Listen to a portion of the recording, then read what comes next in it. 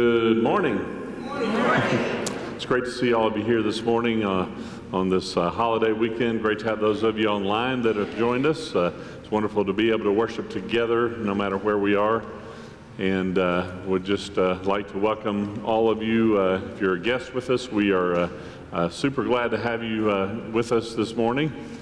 if you would, everyone check out your bulletin for all that's happening. Uh, fill out the, the connection card that you can find in your bulletin, and you can drop that and any offering you have in the box on your way out this morning.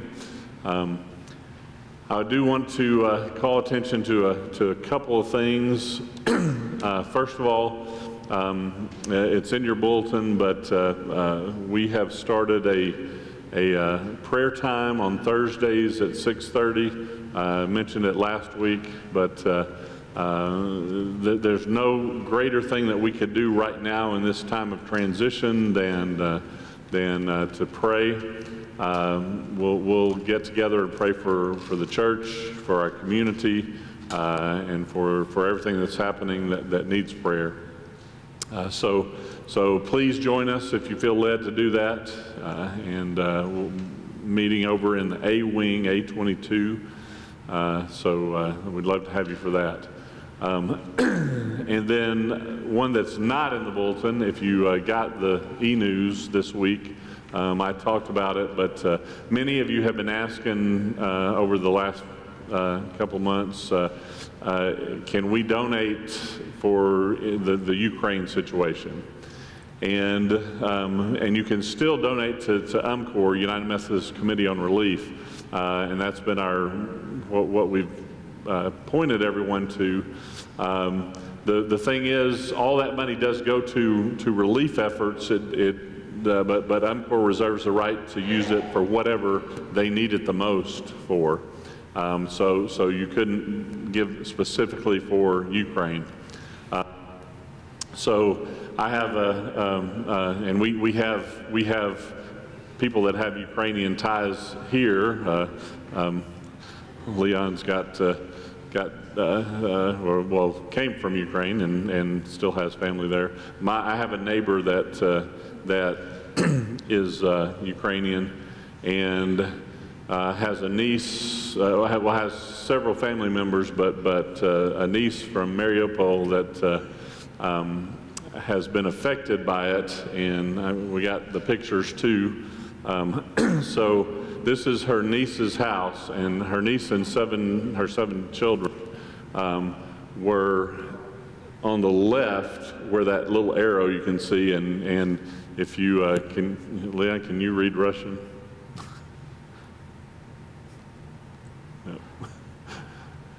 anyway, what, what that says, if you could, is, is that, that that's where they were hiding when a missile hit their house.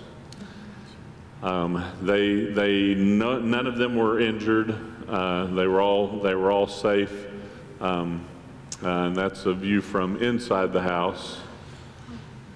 And uh, so, so their church now is, is feeding hundreds of people still to this day, um, uh, every day. Uh, the, the pastor at the church has seven children also, and they're all helping. These are some of his kids. Uh, there's a line for the food, uh, or more of them serving. They're cooking most of the food just outside the sidewalks. Um, and then, interestingly enough, this this was a church. This is not the church that's doing this, but but this is the church that that my neighbor uh, said where she accepted Christ. Um, and it's all burned out. That's just the metal frames of the chairs left. Um, and then back at the other church, uh, they're, they're also uh, housing people. Um, and so if you, if you feel the desire to, to give, to support uh, their efforts in, in feeding the folks and, and helping with whatever needs uh, they have, uh, uh, you can do that. if you write a check, just put Ukraine on the bottom or put it in an envelope and, and mark Ukraine, or if you do it electronically, you can uh, fill in the other section with Ukraine. Uh, but but they are, they are uh, uh, it, interesting to, to, to, to, talk to my neighbor and to see just how much uh, Christianity is, is thriving in the Ukraine. And uh, this is a, a, good example of that. So, um, so if you feel led to give, uh, that is, that's great, and we'll get that money to them. Um, otherwise, this is the day that the Lord has made, and it's a beautiful one. Um, it's a day where we honor those who have lost their lives in, in service to, uh, to our country. Um, uh, if, you, uh, if you served in the armed forces, would you stand up right now? We'd like to honor those that are still with us.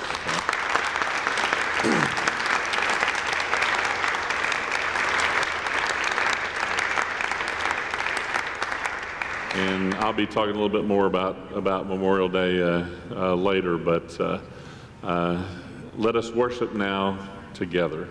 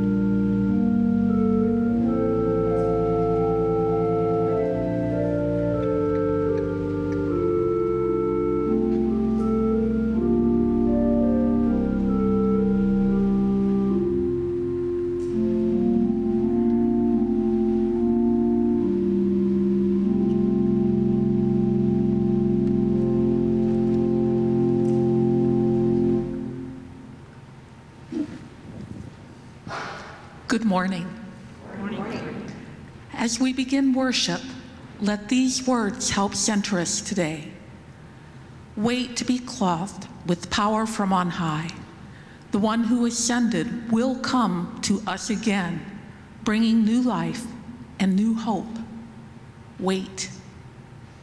Please stand as you are able and join me in our call to worship.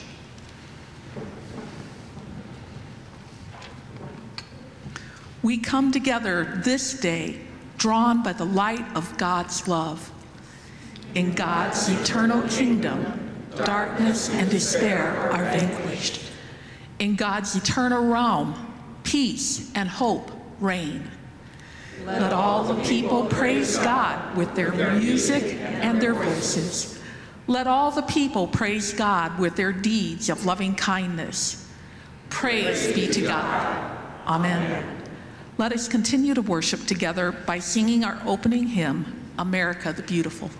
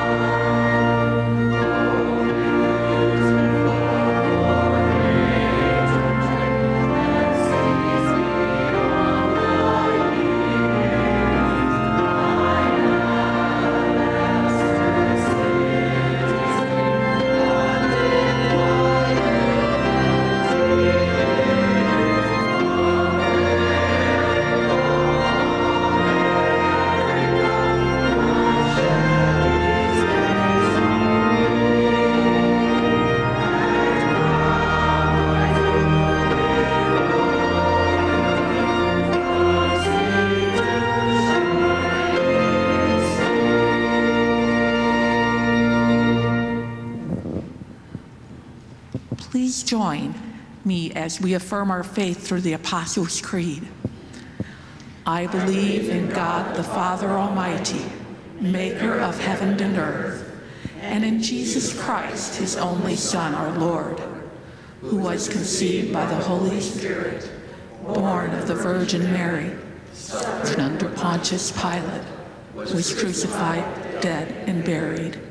The third day he rose from the dead.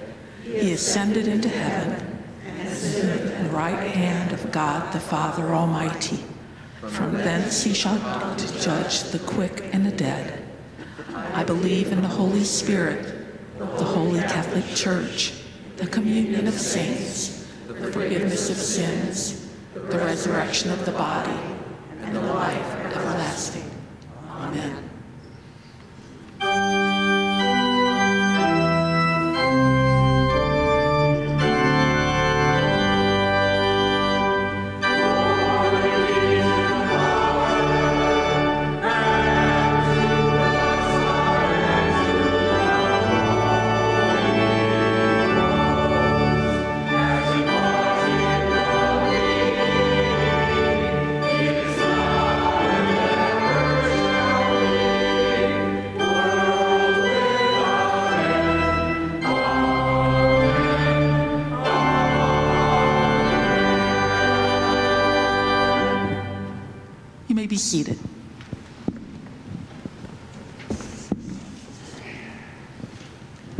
Let us pray.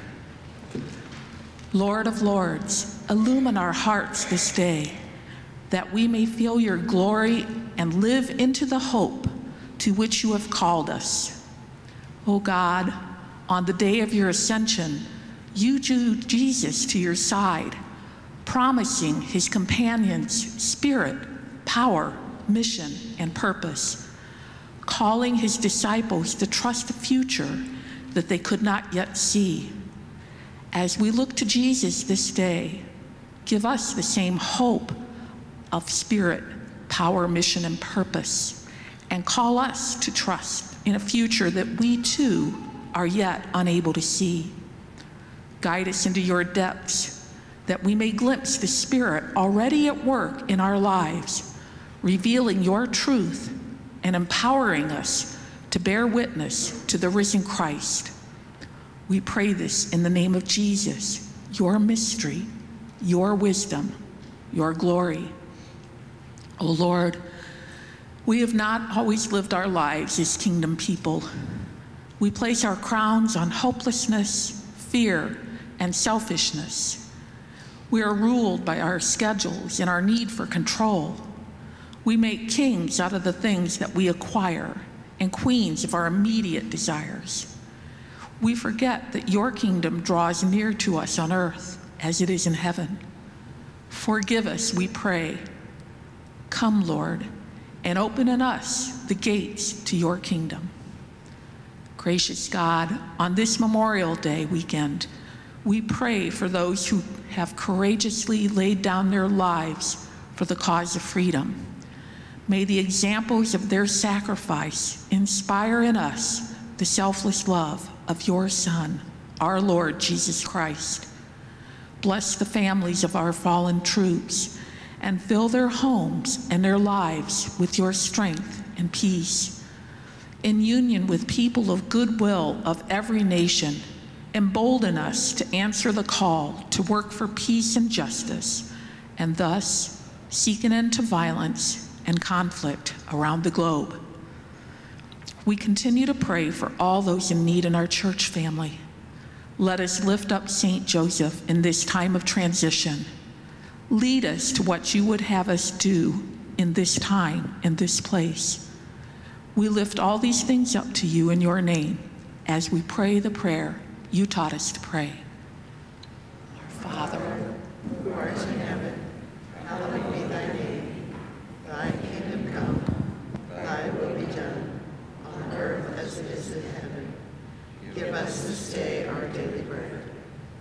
forgive us our sins, as we forgive those who sin against us. And lead us not into temptation, but deliver us from evil. For thine is the kingdom, and the power, and the glory forever. Amen.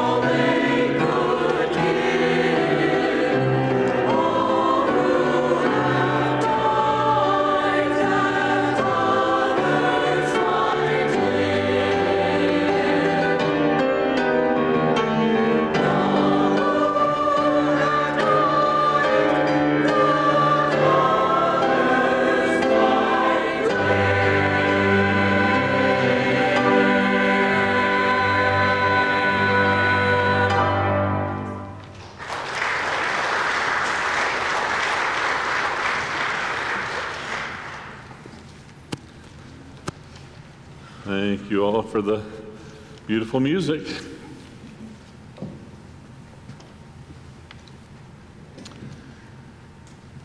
So, memory is an interesting thing.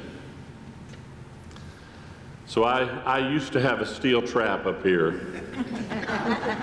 I could remember anything I heard. Um, but but uh, memory is also a, a funny thing.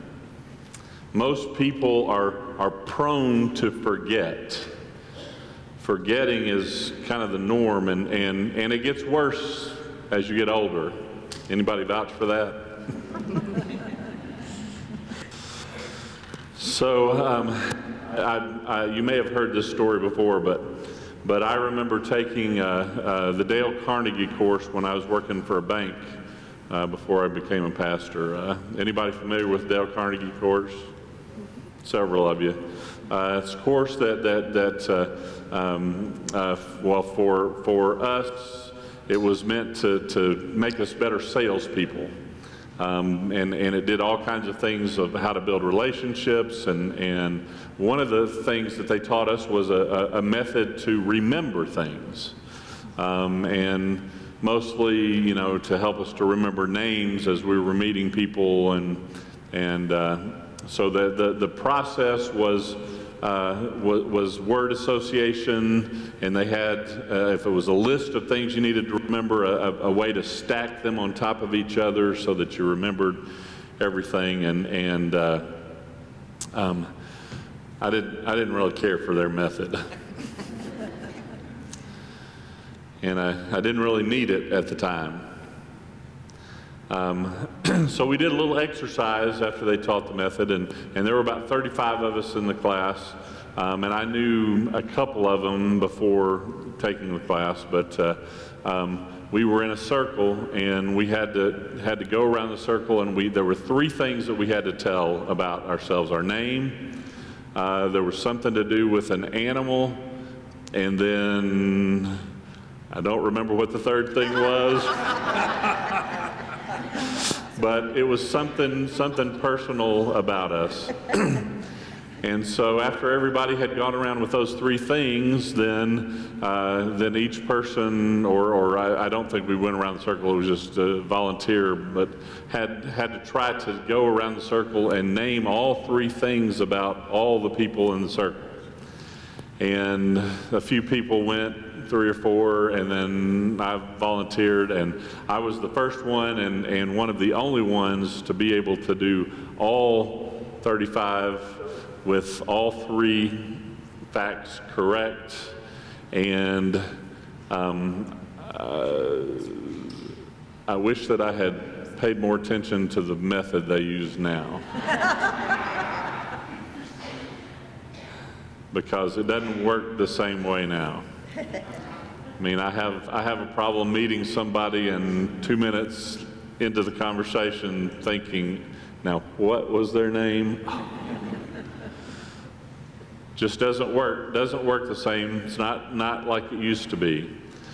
Um, so remembering, if we look at if we look at the Bible, we can tell that God values remembering.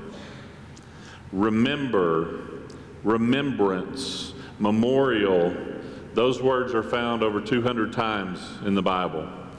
Uh, there are all kinds of, of, days in the Old Testament that, uh, that, were, uh, that God marks as days of remembrance. Uh, the most important being the Jewish Passover, still celebrated year after year, which is all about remembering how God delivered his people out of the hands of the Egyptians. The one that we can readily recall from the New Testament is when Jesus ordains what we call communion today as a way to remember what he did at his final Passover meal and what he did on the cross when he died for us. These are some of the things that prompt us that prompt us to remember. And we have several of those that happen throughout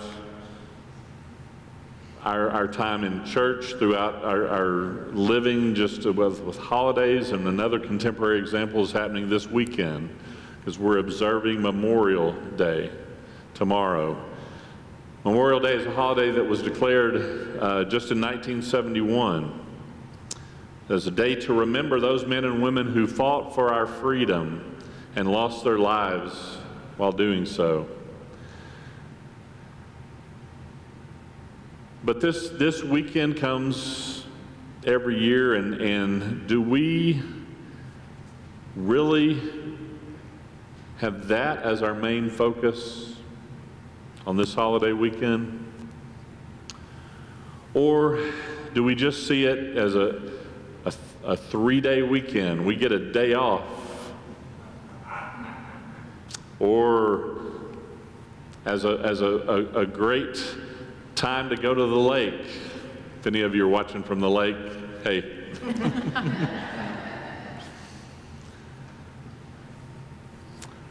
or in Indiana, big thing is the Indy 500. Is that what this weekend is all about? Or maybe it's just the, the, the cookout, the barbecue that you'll have with family and friends. So today I want to talk about remembering. And first of all, we do need, we need to remember those who fought and died for our freedom, that laid down our lives for us. John 15, 3 records Jesus' powerful words when he said, Greater love has no one than this, to lay down one's life for one's friends. More than or almost 1.3 million Americans have laid down their lives in our wars. They paid the ultimate price defending this great country that we live in. And because of their sacrifice, we're free to do many things that others around the world don't have the privilege of doing. We can worship freely in America. We can pray freely. We have freedom of speech, freedom of assembly, and we're free to vote because of what they did. So we have to remember these people. We can't let our party plans for this weekend divert our attention to the real reason that we have this holiday. And then, probably because of the freedoms that we have, we usually take most things for granted. And we tend to also forget the millions of Christians who have died over the years standing up for their faith. Not to mention those who, who have suffered and almost died because of their faith. There are about 43 million Christians who have died because of their faith since the time of Jesus. And that's 21 centuries worth of people dying. What's, what got me is I, I saw that more than half of those that have died because of their faith have happened in the last century. Still to this day, churches Churches in some countries are burned. Pastors are murdered. Christians are persecuted and killed. In many countries, it's illegal to be a Christian. But what's really interesting is that in those places where Christians are most persecuted, that's where Christianity is growing the fastest.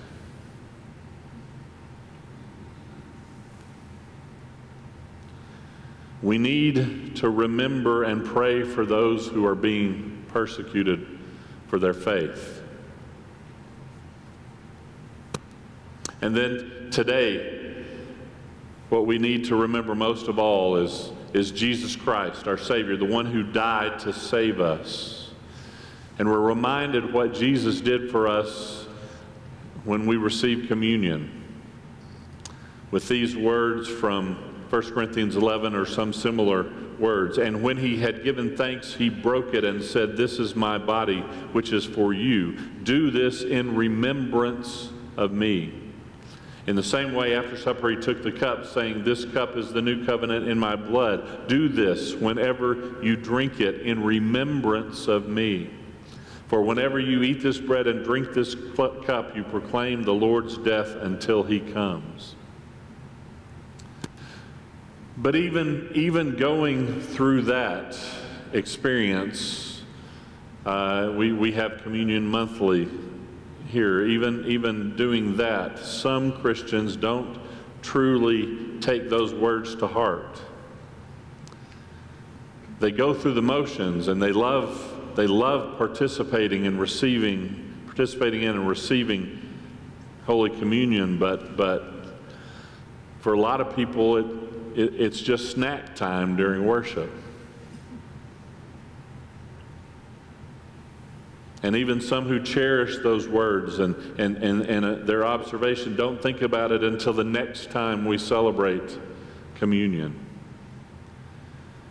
It's interesting how we can forget, or at least put it into the back of our minds, the greatest gift that's ever been given.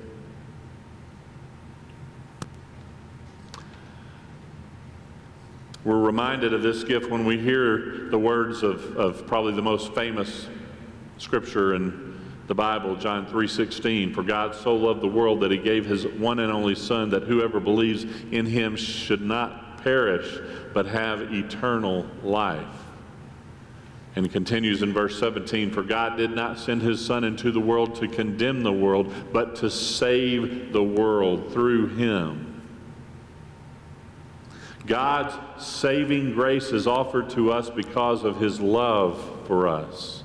And in return, he wants us to do as Jesus instructed in Matthew 22, verses 36 through 39, when he, when he was asked, Teacher, which is the greatest commandment in the law? Jesus replied, Love the Lord your God with all your heart and with all your soul and with all your mind. This is the first and greatest commandment. And the second is like it love your neighbor as yourself.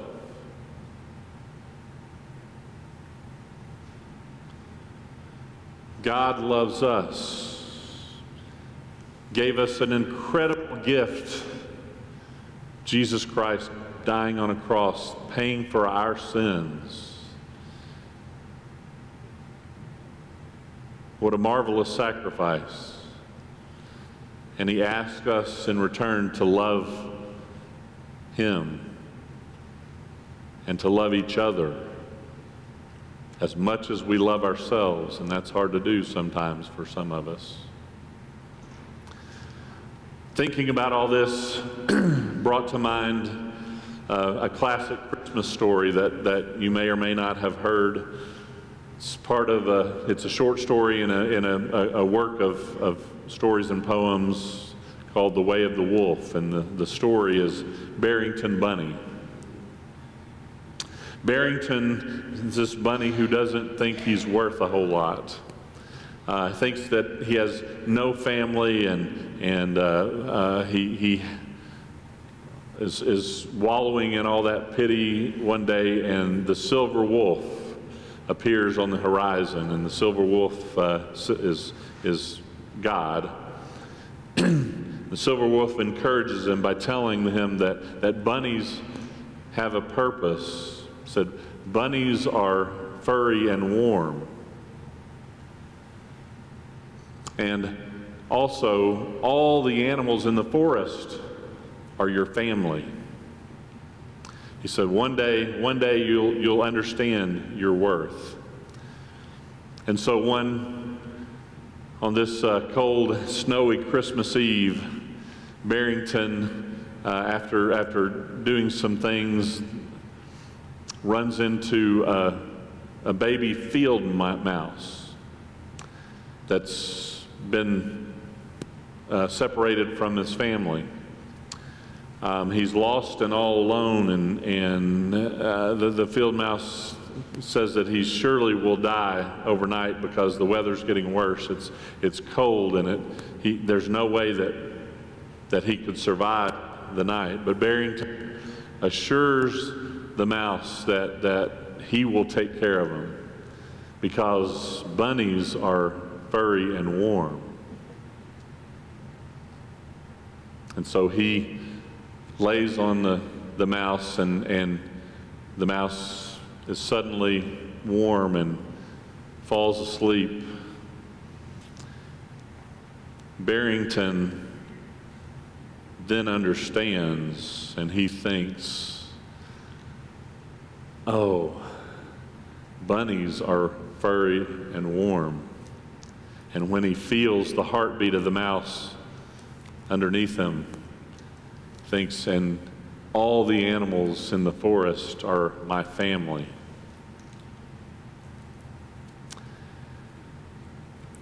So he kept the mouse warm and cozy, and the next morning, the mouse's family finds the little baby mouse alive and well underneath the carcass of a dead bunny. He gave his life to save another.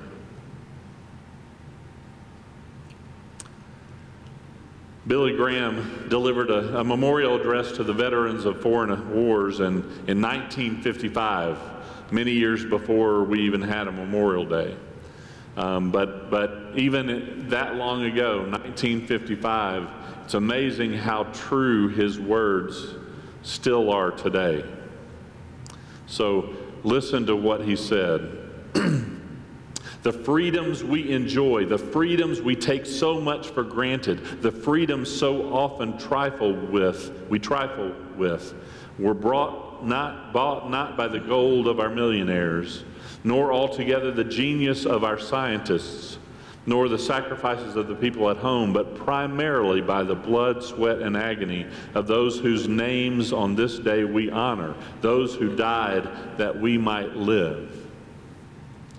They found, as have brave men of all ages, that there are principles well worth dying for. Their noble, unselfish sacrifices a silent, eloquent rebuke to the self centeredness of this generation.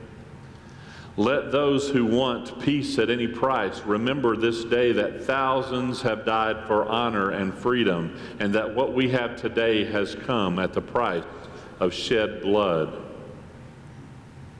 Even though the sacrifices of our war dead have been great, yet the greatest sacrifice of all time was made by a man on a cross who died not only physically but spiritually that we might live.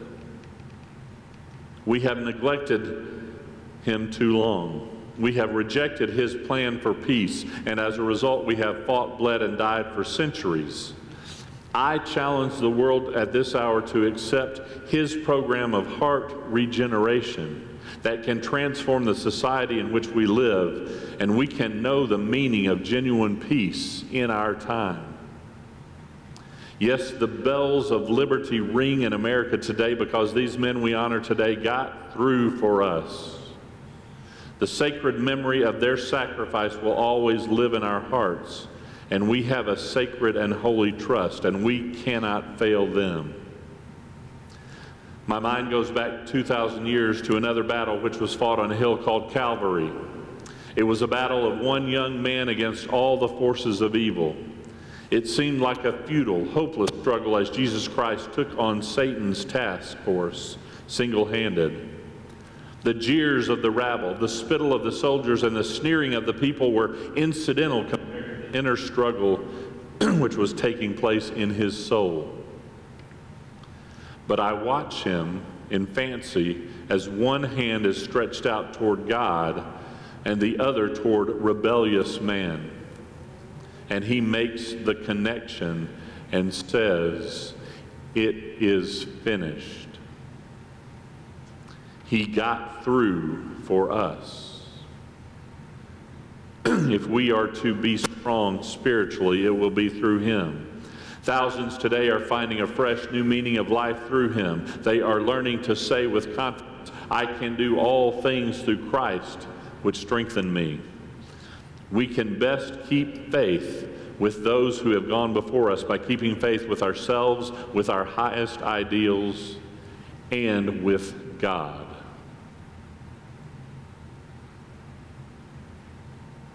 Words that still have a lot of meaning today. Let us pray. Lord, tomorrow we, we will pause to remember the brave men and women of the armed services who gave their lives for our freedom.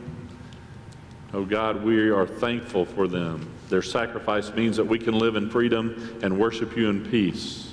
We honor them and their, their bravery now. And we acknowledge that, that they were so much more than just soldiers. They were fathers, mothers, brothers, sisters, friends. they fought not for glory, not for wealth, not for honor, but for freedom. We live today with that freedom. But more importantly, we thank you for the freedom we have in you, for the sacrifice you paid by dying on the cross so that our sins would be forgiven and so that we would have the opportunity to live with you in heaven for eternity by accepting you as our Savior. We pray that our freedoms would compel us to share you with others who don't know you. Lord, we pray all this in your holy name. Amen. You'd stand as you're able now and let's sing our hymn of sending, God of the ages.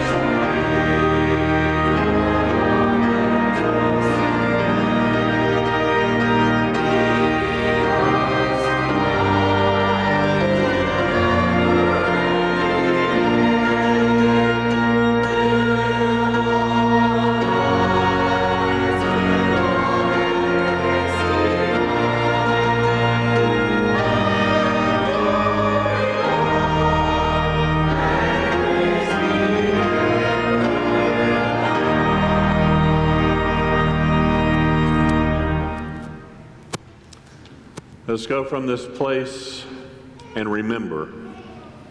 Don't forget. Remember the freedoms that we have were paid with a, a, a price that a lot of us are not willing to, to pay. So let us remember, let us have peace, let us cast our eyes upon Jesus, who paid the ultimate price for us. So go in peace in the name of God the Father, God the Son, and God the Holy Spirit. Amen. Have a great week.